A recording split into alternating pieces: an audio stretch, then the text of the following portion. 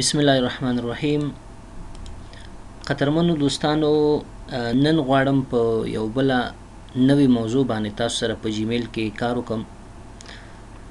هغه دا چې ورور تاسو څنګه کولای شئ په جیمیل کې یو ګروپ جوړ کړئ او بیا څنګه کولای شئ هغه ګروپ ته تاسو ایمیل ولېږئ ګروپ ولې منګه جوړو څه وخت مونږ ته پکاريږي ولې مهم دی ګورئ زه یو ساده مثال تاسو ته د پانتون درکوم کله چې تاسو په پوهنتون کې مثلا که تاسو پام کړئ په یو صنف کې 50 نه همیشه زیات نفر په کلاس کې په یونیورسيټي یا پانتون کې 50 نفر ای اتیا نفر ای سل نفر ای تر یو نیم سل نفر پورې یو کلاس کې کسان ای نو کچیر تاسو یو نیم سل نه سل نه 50 نفر فکر وکړئ او تاسو په صنف کې نماینده اوسئ استاد تاسو ته یو چپټر راکوي چې تاسو دا چپټر واخلئ دا سافټ ټول دغه کسانو سره شریک کړئ نو ته څه کوې د دې ټولو کسانو ایمیل ادرس اخلي ایمیل ادرس چې کله واخلي خو یو ځل به دا یو یو ایمیل ادرس ته په جیمیل کې اډ کړئ هلته چې کله تاسو چاته ایمیل لګي ټو ته ځئ دا تاسو مونږ تاسو د دې باندې بحث کړی دا ویل دي ټو کې تاسو د هر یو کس ایمیل ادرس لیکئ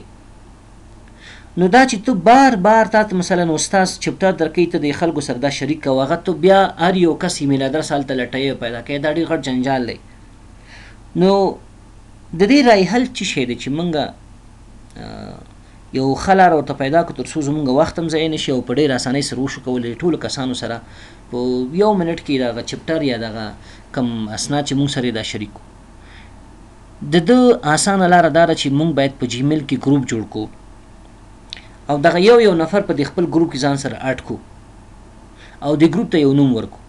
چې کله موږ ته استاد یو چپټر راکوي چې وروره دغه چپټر تاسو دغه خپل ټول هم صنفیان 50 یا 80 یا 100 نفر سره شریک په ټوکی چې کله مونږ چاته ایمیل کمپوز کوو په ټوکی چې هلته ادرس راځي مونږ د ګروپ نوم اخلو چې کله د ګروپ نوم تاسو انتخاب کړئ د ټولو هغه هلکانو یا همصنفیانو ایمیل ادرس یې هلته راځي نو موږ په یو کلیک باندې کولی شو هغه ټولو کسانو ته ایمیل ولېږو دا د ګروپ د جوړولو فایده ده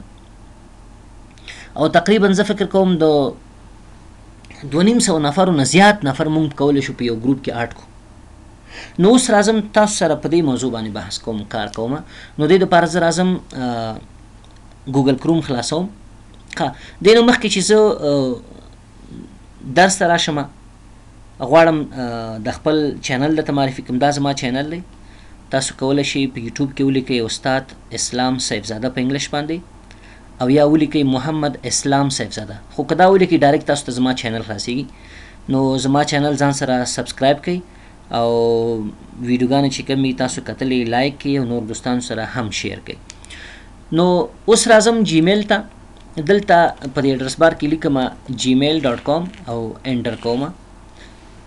تر څو هغه د جیمیل صفحه مون سره خلاص شي gmail.com تاسو ګورئ د جیمیل اصلي صفحه مون سره خلاص شو زما ایمیل دلته تیار اډ شوی دی زه په دې ایمیل باندې کلیک کوم او دلته خپل پاسورډ لیکم تر څو زه خپل جیمیل اکاونټ ته داخل شم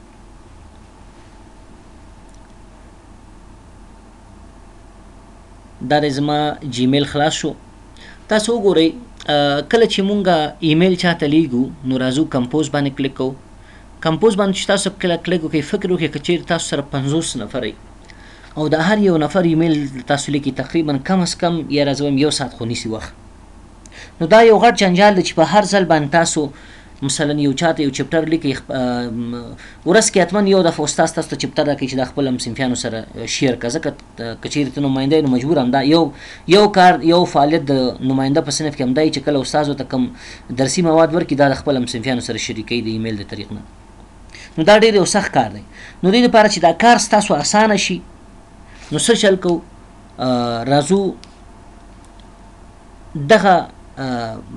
نه دانی نقطې چې ګوري یا بټن چې ګوري دا په نوم د ګوګل اپس یادېږي نو په دې باندې کلیک کوو چې کله په دې باندې تاسو کلیک دلته یو بخش دی په نوم د کنټاکټس په دې باندې زه کلیک کوم دې باندې چې کله تاسو کلیک وکړئ تاسو سره چې څومره کنټاکټس اډ شوي هغه دلته راځي فعلا ما سره کوم کنټاکټس نشته دي او نه ما اډ کړي زه څه کوم نوې کنټاکټ اډ کوم دلته دې ځینم کولای شو چې کریټ کنټاکټ باندې کلیک وکړو او هغه ځی باندې کلیک کولای شو دې ځینم کولای شو چې کریټ کنټاکټ باندې کلیک او کولای شي چې نور ایمیل ادرس نه خپل کنټاکټ هم دلته امپورټس کې نو زه څه کوم کریټ کنټاکټ باندې کلیک کوم او دلته زه یو څو دنه کنټاکټ اډ کوم مثلا د یو نوم دی محمد اسلام لاس نیم دی سیفزاده کمپنۍ او جاب ټایټل دا شیان څه کوم دا نه اټکوم که عکس اټکئ عکس هم دغه کس تاسو اټکولی شئ زه صرف دویم کار چې کوم دغه کس ایمیل ادرس اټکوم مثلا آی صیفزاده اټ هاټ میل ډاټ کام دا یو زما خپل شخصي ایمیل دی زه دا اټ کوم چې تاسو ته پریکټیکل کار په دې باندې وکم نو دا یو ایمیل اډرس اټ ک کچیر دغه فون نمبر تاسو سره نور معلومات دا تاسو هم کول شي نور معلومات مټ کول شي ته وګوره خدای بلا معلومات زه څه کوم فقط دغه معلومات مې ولیکلو او ایمیل ادرس می ولیکه سیف باندې می کلیک وکړو ما سره یو دنه کنټاکټ دلته څه شو اضافه شو دا دی دا محمد اسلام سیف زاده په نوم باندې کنټاکټ دی ما سره او دا ایمیل ادرس دا ما ځان سره اډ کو او تر اوسه پورې د د سره زما کوم انټراکشن صورت نه دی نیولې نو په دې معنی چې ما د کوم ایمیل نه دی لګلې او د ما ته کوم ایمیل نه دی لګلې تر اوسه پورې همدارنګه راځم بل کنټاکټ اټ کوم دلته راځم کریټ کنټاکټ باندې کلیک وکړم دته نوم ورکوم محمد اسلام صاحب زاده خو دې ځل ایمیل ادرس کې لیکم ام ډاټ اسلام ډاټ صافای دا هم زما یو بل ایمیل ادرس دی دل ډاټ کوم سیف کوم چې کله سیف باندې مکلیک وکړو زما کنټاکټ سیف کیږي خو دلته لاندې تاسو وګورئ ما ته انټرکشن کې ډیر معلومات راکړي دې سړی ته او زما د دې سړی په منځ کې د ایمیل ادرس په منځ کې دون ارتباطات مثلا نیول شوی دي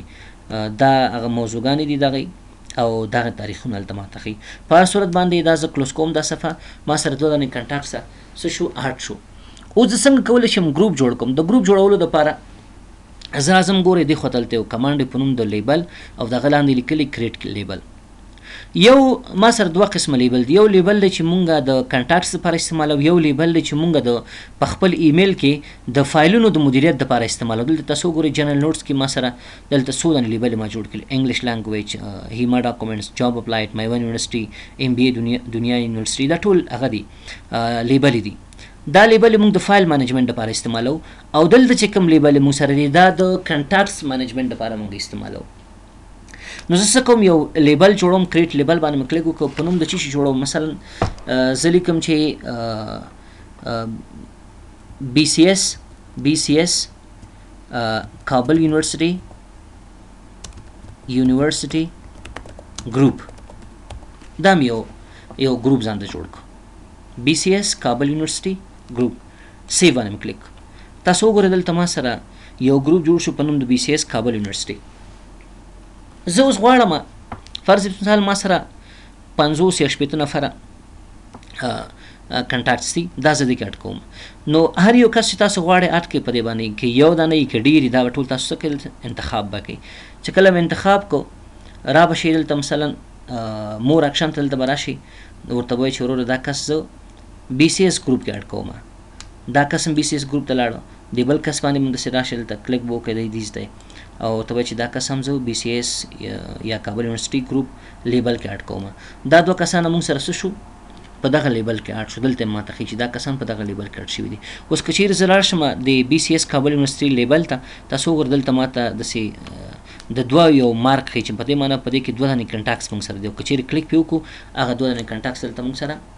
اډ شوي دي نو اوس څنګه کولی شو دی کسانو ته مونږ ایمیل ولیږو ګوره مونږ کنټاکټس هم اډ کړو لیبل هم جوړ کو کنټاکټس هم واغسل بیرته هم په لیبل کی واچلو اوس څنګه کولی شو دی ته مونږ ایمیل ولیږو ما خو تاسو ته دوه دانی مثال درکړ تاسو کولی شی سل نفره یو نیم سل نفره دوه سو نفر دوه نیم سو نفر دی کی اډ کړی که هغه د دفتر مربوطه کسانی یا تاسو سره دوستان است یو ځای کې کار کوي یو دفتر کې دوستان است خپل په منځ کې ګروپ جوړوي